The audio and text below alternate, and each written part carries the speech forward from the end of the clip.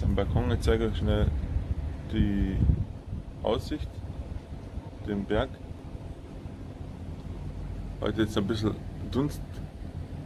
Man sieht hinten fast gar nichts mehr. So, das ist wie so ein Nebel. Und das ist das Taurusgebirge. Das streckt sich bis weit hinter.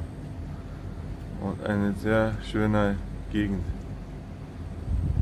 Schaut euch mal an, wie das ausschaut. Einfach herrlich. Das sind die Ban Bananenplantagen.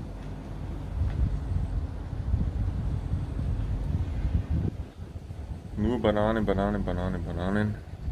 Jetzt welche. Ups. Hier sieht man welche. Und die schmecken sehr, sehr, sehr süß und sind so klein. Also ich habe gehört, überall angeblich, wo hier Bananenplantagen wachsen, versuchen die nichts hinzustellen oder hinzubauen, weil die irgendwie auch von diesen Plantagen leben, die Bauern, und die auch geschützt sind. Ob das jetzt so stimmt, also gesagt wurde es mir, aber wenigstens ist hier nicht alles zugebaut auf der Seite. Und hier zur Küste runter ist Haus an Haus.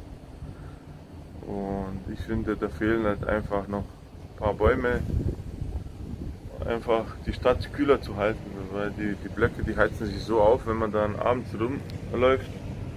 Das heizt so auf, das ist so warm und schwül. Das ist das einzige Negative, was mir so aufgefallen ist.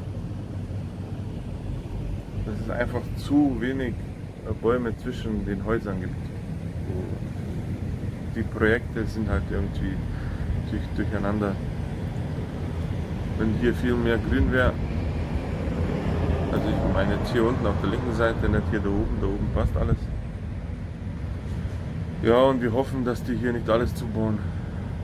Hoffen wir es mal, weil sonst schaut es nicht so toll aus. Aber hier wäre was für Wanderer und für Quadfahrer optimal. Kann man schön oben rumfahren. Und diese Aussicht ist von oben super. Da kommt noch ein Video von mir. Demnächst. So. So schaut es aus am Tag. Einfach herrlich.